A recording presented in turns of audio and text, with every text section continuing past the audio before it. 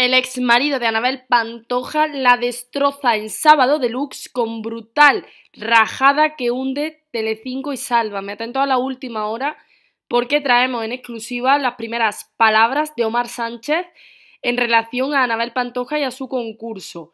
Ya sabéis que Omar, eh, yo creo que de bueno este chico es tonto, eh, se ha reído de él lo que ha querido y más, se casó sin estar enamorada, dicho por ella, pero es que atentos a lo que dice Omar.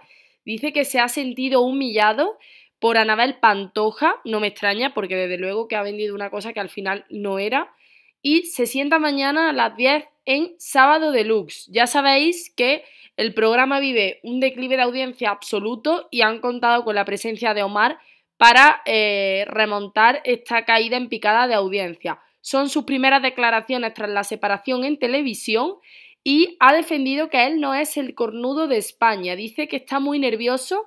Estoy en el punto de mira de todo el mundo. Creo que la gente me va a entender.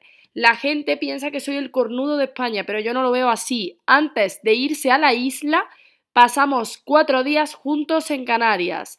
Me he sentido humillado con sus frases y gestos. Hay cosas que te pueden doler, pero va a ser una persona importante para mí siempre.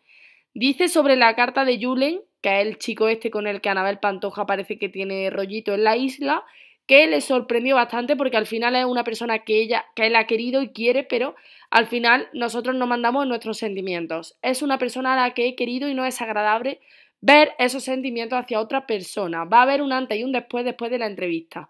Bueno, eh, parece ser que la familia de Anabel está que trina con la entrevista, lo han confirmado hoy en Sálvame.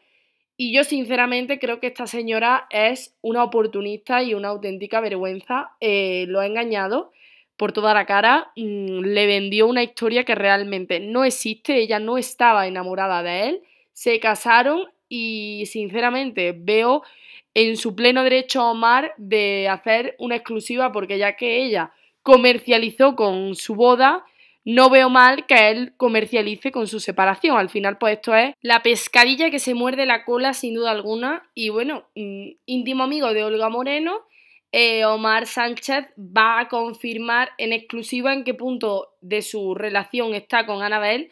Pero lo cierto es que Anabel lo engañó bastante porque quedó con él, estuvo en Canarias varios días y luego parece ser que se ha encaprichado de Julen. Así que bueno, abrimos debate en comentarios, suscribiros al canal y nos vemos en los próximos vídeos.